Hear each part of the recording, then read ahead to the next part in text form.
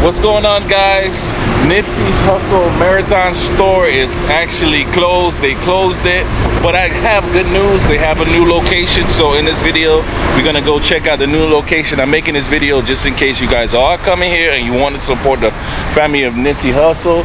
They have moved, and so we'll just go find out where the family is now. Hopefully, we can uh, link up.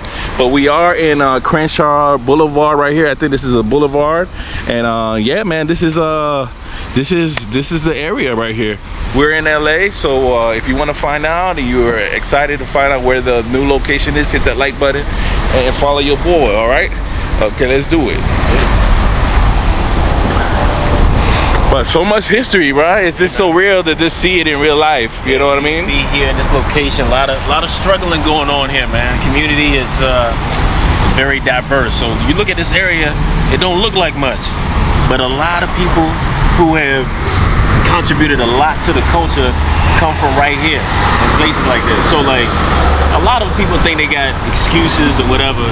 They just look back even in our generation. Yeah. Like this dude's been doing it, no excuses. And then that's that's interesting that you brought that up because Nipsey was all about entrepreneur accountability and entrepreneurship. He, right. Here was a brother reinvesting into his community right. to help his community, right. like buying back the box he literally bought this whole plaza back. I don't know if they still own it or maybe they're moving on or they're building better. But let's see if we can find out some more information. Um, we got some guys here. Let me see. What's going on, Mike? Can I interview you? Let's have some questions about this place.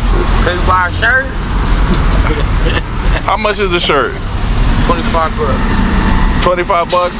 I'll give you twenty dollars just to talk. I won't buy the shirt. Okay. So what what's go, what's going on here? What? In ter um, terms of what happened, why did close, or do you know why they closed, or? I'll tell you the whole story. Okay. All right, when Nipsey died, they sold everything, right? Yeah. And then they closed. Yeah. But it ain't no gate here at that moment. So the crowd that you see from Nipsey death, it's laid out here. It never leaves. All right, one of the homies from the neighborhood sits right here. Yeah. And in the middle of the night while he's drinking, he gets stabbed and he dies. This is after Nipsey's passing? Probably a month after Nipsey died. So after the homie died sitting right here, they come and put a gate around here. Bam, green gate. Okay. All right, so somebody hops this green gate and bust every window off. Oh, no. Bam. So then I double back and I put the wood up on each uh, thing. Then I switch the gate and add barbed wire and make it hard so you can't just hop the gate. Then like four months ago, this dude was in front of the mural and he got shot in the process of taking a picture. And then after that, everything just got shut down basically. Cause, uh, and this was four months ago, someone was just coming to pay respects by taking a picture and well, then... they had their chest poked out and they was having words with okay they were doing so, too much. Yeah and then they thought they were just gonna come take a picture. Okay. And it just didn't work out like that. I got you got you got you. And so y'all y'all actually put this here just a reminder to let people know what's a going could have did this a random person could have did this. I'm not sure do you still have people come out here to um, pay respect Every day, all day. Okay. Wow, man. You did you know him personally? I met Nipsey in 2003. Okay, so can you give us like a cool story or like a short story?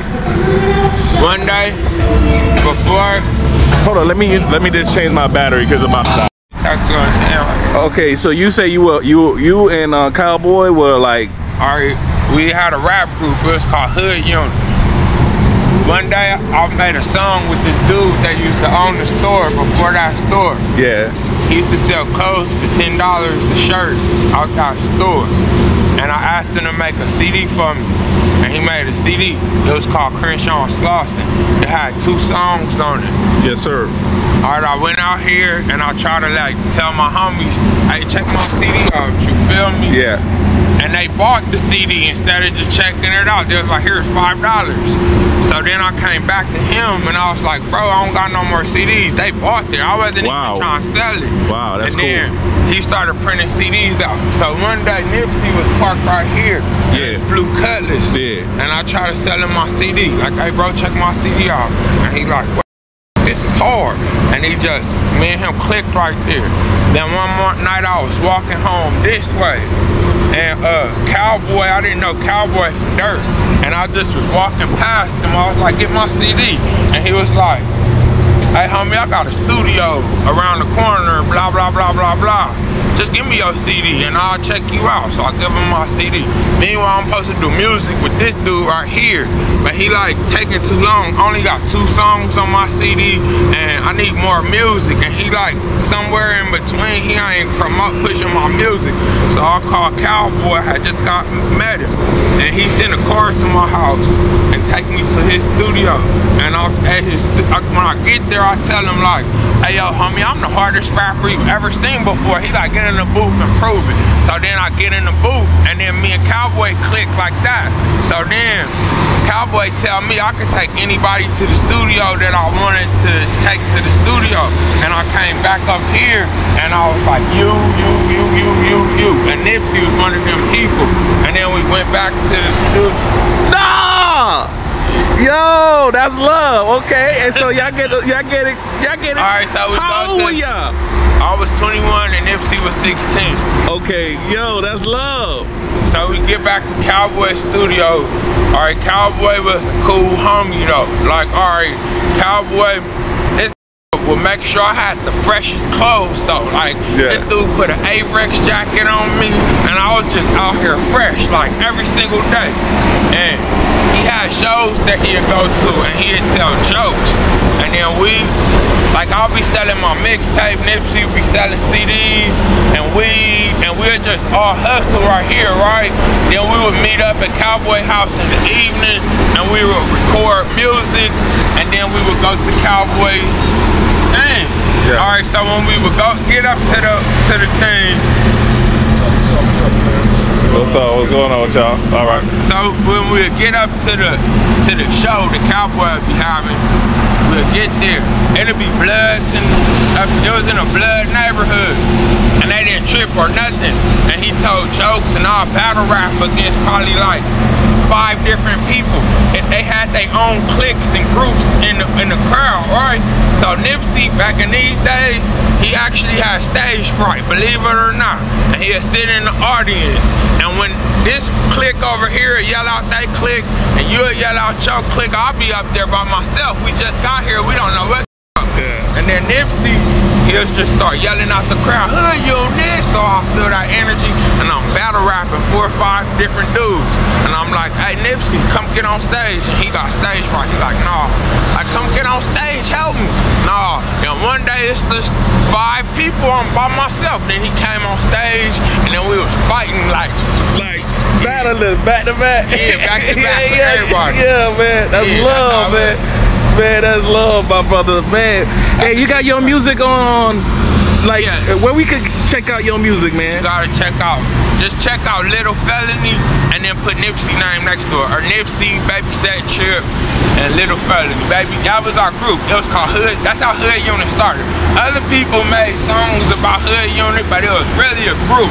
It was my group, and then there was Nipsey and Baby Set Trip. They'd come in like they bars or whatnot. And then Cowboy, he had the studio.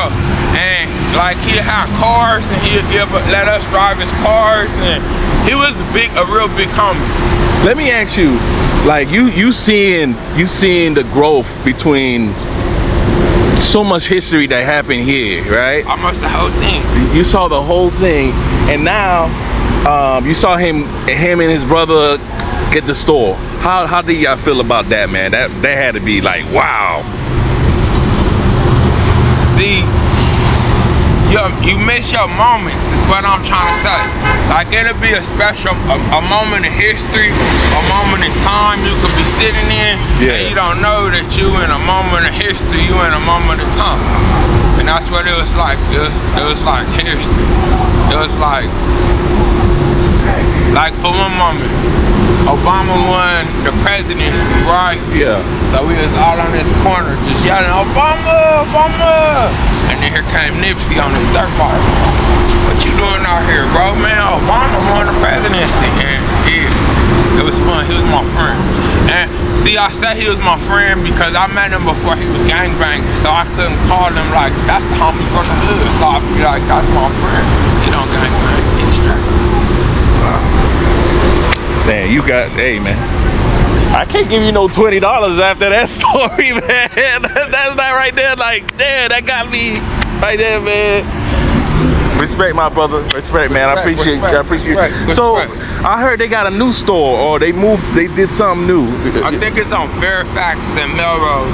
It's somewhere on Melrose. I haven't been there um for years. It's a big shop It like is like a, okay, okay, but they they starting off new over there now.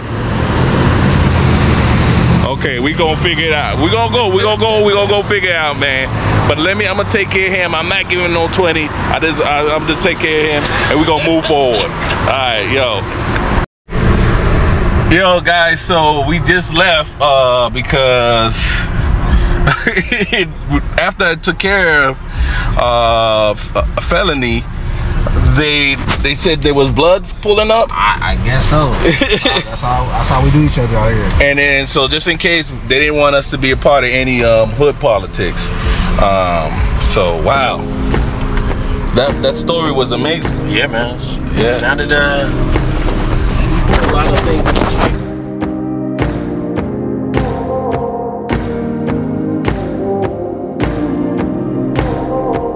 There you go, guys. Marathon. All right, I'm gonna put the address of this place, so just in case you try to come here and support, and I'm gonna see what's up if they're gonna be doing a more of just a shirt store or maybe uh, it is what it is. Seems like it's more than just a shirt store, but we're here to support anyways. Let's go inside. We're gonna go inside real quick. shit out. Okay, So and I know they're waiting for that the, the marathon clothing store. is coming soon, man. You know what I'm saying? Just be on the lookout for it. I don't want to get out too much. All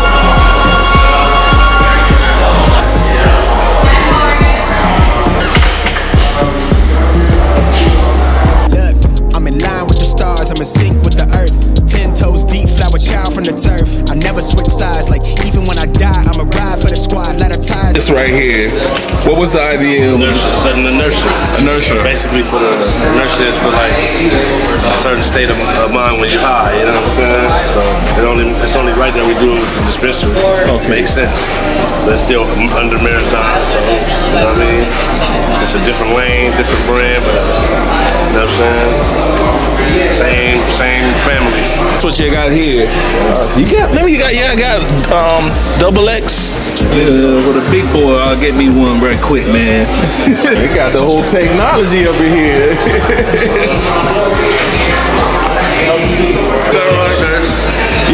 those uh, the two X. Yeah. Okay. All right. Cool. So we, so if we, if we wanted to, we could come here and cop a shirt right here.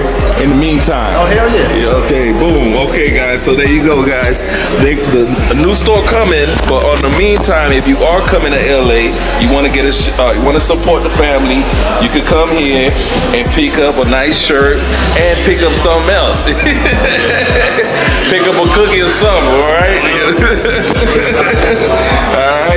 So this is nice. This is nice. Yeah. All right. You got a paper right here. Uh, order food right now for your shirt. Okay. I'll meet you over here at the restaurant. So guys, so what I'm getting uh, just of this is um, actually a collective of different brands who uh, choose to serve their their items here. And here's one. We got a beautiful woman here, and her brand. What is your brand? How's it going, guys? Name is Natalie. I am the brand ambassador for Elion. We're pretty much a sun-grown based brand company where we produce high quality flower for such a low price. Pretty much when it comes to our flower base, it's pretty much we use hoop houses instead of greenhouses for our flower so that the terpene profiles are maintained and it stresses enough the flowers to make them be at the highest potency.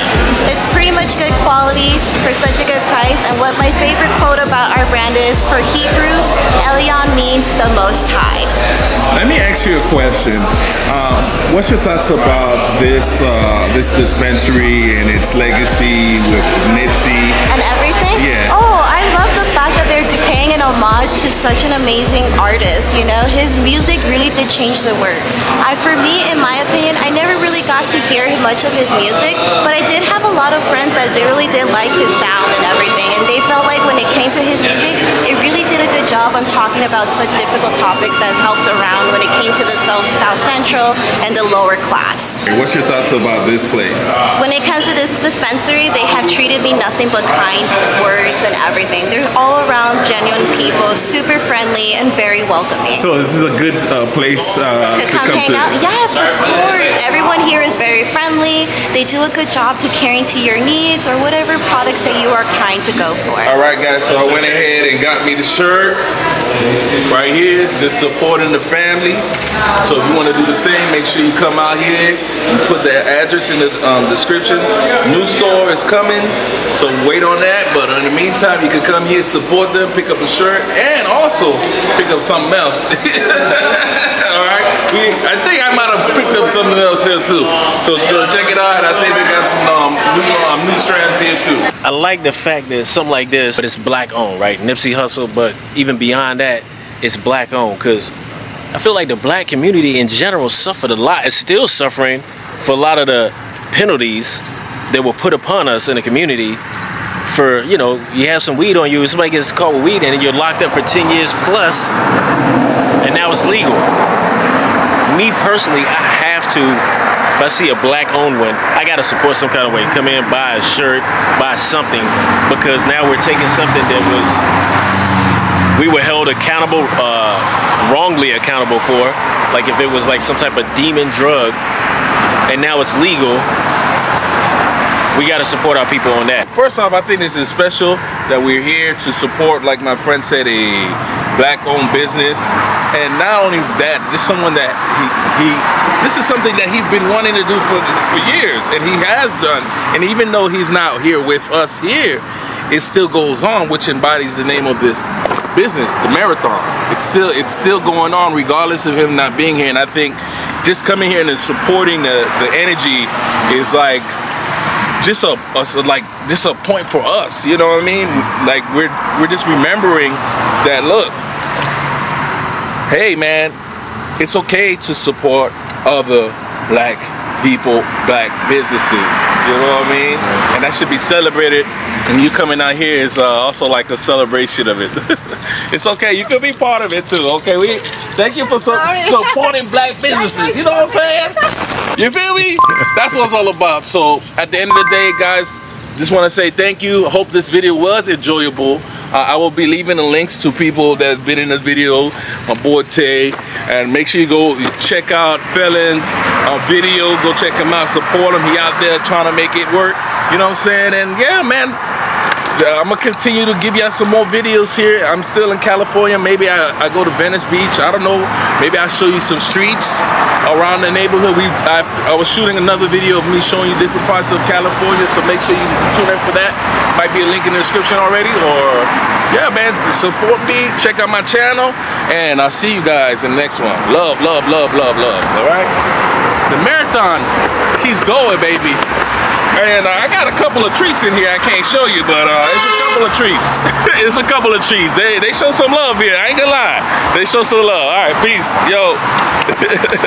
so kept going. I run into Nip. I didn't got arrested with Nipsey. I didn't got arrested with Nipsey before. And, and that shopping center that you was at. Yeah.